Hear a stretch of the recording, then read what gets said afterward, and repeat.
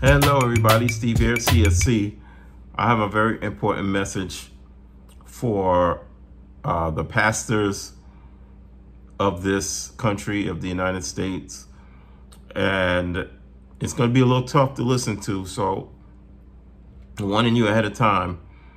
Uh, we're living in a day and age, if you are aware of anything that is going on, uh, where things are just going uh, crazy. You know, of course, you have the the shootings and the mass shootings and the crime and gang violence uh, in the cities, uh, and you also have a host of uh, agendas going out there. Uh, this this month is uh, Gay Pride Month. Uh, the LGBTQ narrative is impacting our young people, our students at school. We are basically we basically in a situation of spiritual warfare on all fronts. And it is a, a, dire time in our communities. And we need really pastors to step up. Unfortunately there are not a lot of pastors who are stepping up. Many of the pastors are doing their own thing. And I've recorded a number of vi videos about narcissism in the church and narcissistic pastors uh, some of my earlier videos were on that, and you guys are still listening to them, so I thank you for that. Check them out if you if you want. Um, but there is a great lack of real preaching, gospel preaching in the church. There is a lack of pastors who will stand up. Many pastors, unfortunately, folded during the pandemic, and they allowed the the state the government to basically tell them what to do, to close, to, you know, do this and do that, and not perform our mission. And, you know, unfortunately, you know, many pastors, I guess, were fearful of the repercussions, uh, fearful of the virus. And I'm not saying that one should not be cautious and do what they can to mitigate the situation. But uh, churches used to be the most important part of a community. They used to be the backbone of a community. And when everything else went awry, the churches were there to provide the backbone, especially spiritually, of a community. And because the spirit, the, the spiritual warfare is often not seen, it is regarded as unimportant. And pastors, unfortunately, have skirted on their responsibility to be uh, uh, pillars of the community in terms of their knowledge and wisdom of God's word. They have uh, put down their responsibility to preach the gospel of grace and reconciliation and peace and have opted to be preachers whose uh, primary uh, idea of authority is having power over people being narcissistic, preaching the prosperity gospel, uh, where they seek to uh, get their own selves rich and cajole you to give to get. It's a give to get scheme. And, you know, it should not be a wonder why the largest pastors in this country are people who subscribe to this uh, fake gospel and uh, it is a complete aberration. It is leading people astray, and it sounds good, but these people shouldn't be called pastors. They should be, they should be called uh, something else, um, but not pastors. And you should avoid people like this. Uh, you know, churches are in, in our communities follow, try to follow the the social narrative uh, to try to remain relevant in their communities. Um, you know, they perform uh, gay marriages. They they allow um, their pastors to be LGBTQ, and you know, I'm wondering since when did the Bible allow for people people's sexual preference to determine what they do or or or you know determines their viability for uh, ministry.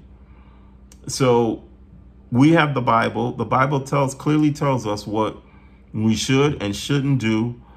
And yet these pastors claim authority over what God says and do what they want to do.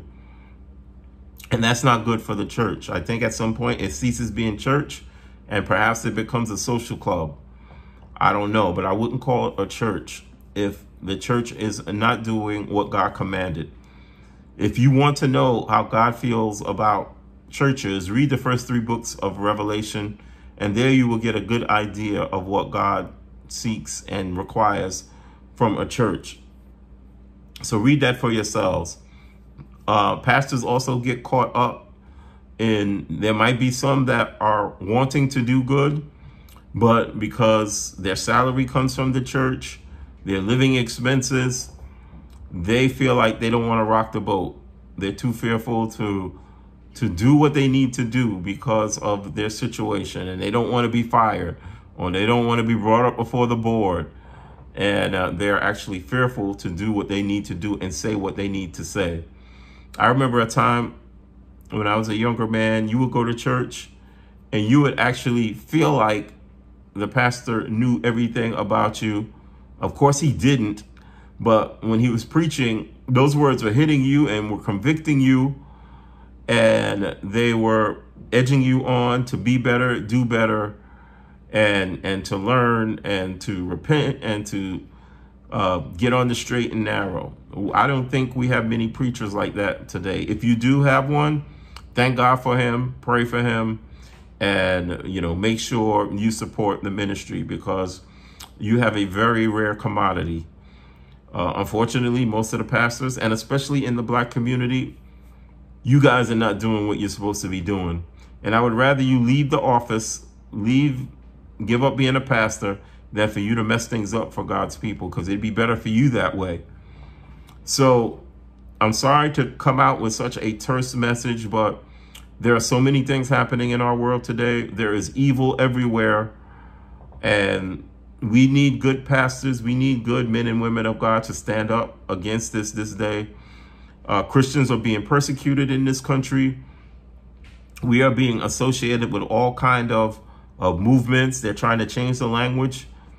Um, but make no mistake, uh, the left and, and those who uh, hate Christians, that is their overriding objective to get rid of Christianity in America. And right now, they're doing a good job. I don't want to be pessimistic, but I have to be truthful with you. And what we need now are churches that will stand up. We need men and women of God who will speak the truth um, and allow God and the Holy Spirit to work in our lives. That's what we need. Not these phony fake churches whose agenda is nothing.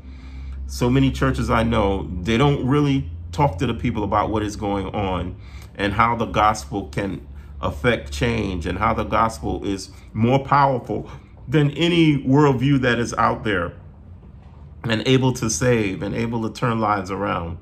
You have very few preachers doing that, and that's what we need. No more of this nonsense. No more of this, you know, give to get schemes and prosperity gospel. No more of these narcissistic pastors who think they're kings and ruling over God's people. If you're a pastor, you're a servant. If you're a pastor, you are supposed to dedicate yourselves to the, the preaching and the ministry of the word. You are to oversee the flock. Make sure that they are uh, abiding by the word. The scripture says, make disciples of men. And when you do that, you're doing a job well done. So if you're a pastor, you need to repent, do so.